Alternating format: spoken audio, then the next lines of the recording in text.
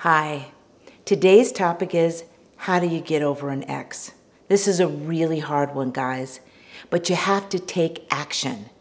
And so, one, be honest with yourself about why things didn't work out. Two, write down all the things that you can do now that you were held back from in the relationship.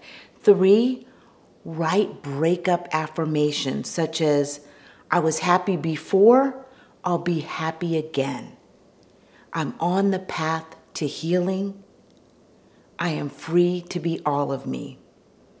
Four, get a relationship coach or therapist. Five, vision.